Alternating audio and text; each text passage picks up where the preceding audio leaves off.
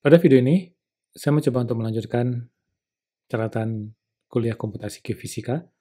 Ini merupakan modul yang kedua tentang pengantar Python, video yang kedua. Kita mencoba melihat hal dasar dalam Python. Dalam hal ini adalah variabel dan tipe data.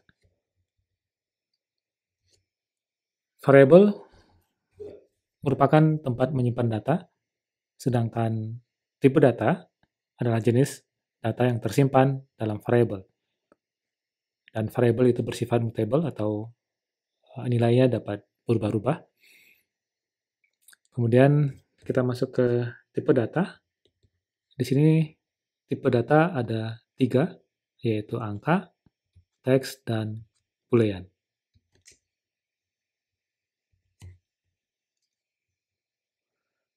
Tipe data yang angka itu terbagi dua, yaitu integer atau bilangan bulat Contohnya 32, 22, 12, 10, dan sebagainya.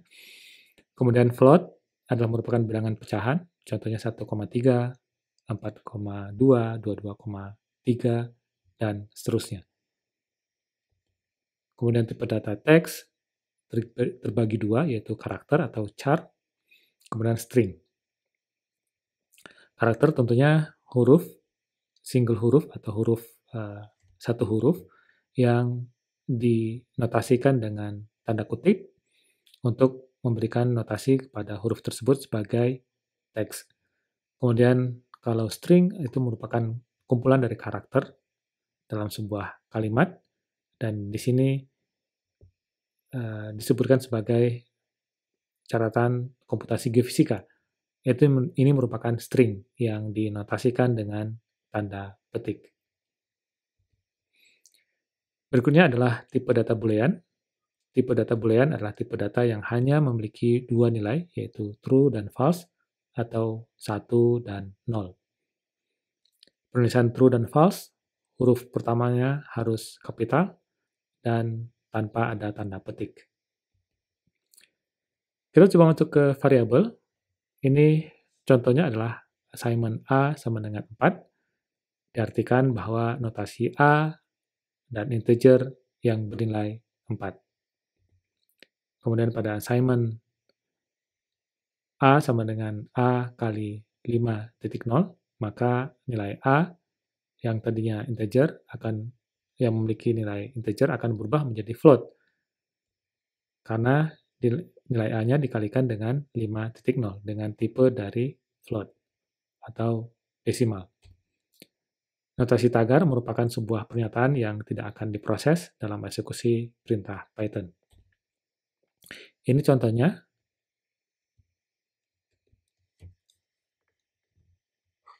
A sama dengan 4. Kita print A, maka hasilnya adalah 4. Kemudian kita buat sebuah notasi baru, A sama dengan A dikali dengan 5.0.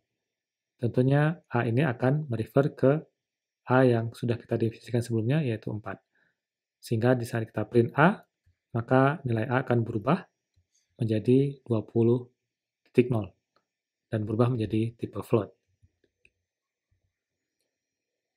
Berikutnya adalah string. String adalah objek yang tidak dapat dirubah. Karakter individualnya tidak dapat dimodifikasi. Jika tetap dilakukan, maka menghasilkan tipe error. Berikut adalah contohnya. Sama dengan catatan komputasi geofisika. Kita ingin merubah komponen yang ke-8 dengan K kecil. Tentunya dia akan error karena sifat string tidak dapat diubah objeknya. Karakter individualnya tidak bisa dimodifikasi. Dua string dapat digabung. Selain itu juga dapat dipotong. Jadi kita lihat di sini, contohnya adalah C underscore 1, catatan komputasi geofisika tipe C underscore 1 adalah str atau string, kemudian C underscore 2 menggunakan bahasa Python, dan di saat kita ingin menggabungkan, kita menggunakan perintah print C underscore 1 ditambah dengan notasi eh, tanda petik untuk memberikan notasi spasi, kemudian ditambah dengan C underscore 2. Ini merupakan penggabungan. Sehingga di saat kita print atau kita eksekusi, maka dia akan memberikan catatan komputasi menggunakan bahasa Python. Jika kita ingin slice atau potong, maka kita akan memotong misalkan di sini dari urutan ke-0 sampai dengan urutan ke-17, maka dia akan mendapatkan sebuah hasil hanya terpotong pada bagian dari urutan ke-0 sampai dengan ke-17, catatan komputasi. Berikutnya string dan list. String dapat dibagi menjadi beberapa komponen dengan menggunakan perintah split. Setiap komponen akan terlihat sebagai elemen dalam sebuah list.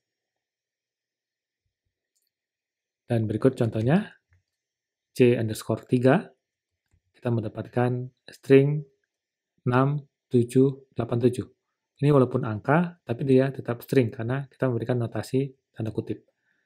Kemudian kita coba split menjadi list, maka kita akan print c underscore, underscore 3 dot split uh, tanda kurung dan tanda kurung penutup. Sehingga yang tadinya dia dalam string, kemudian berubah menjadi string dalam list. Dan setiap list ada komponen-komponen yang berisikan uh, karakter string. Terima kasih. Semoga bermanfaat dan sampai bertemu pada video berikutnya.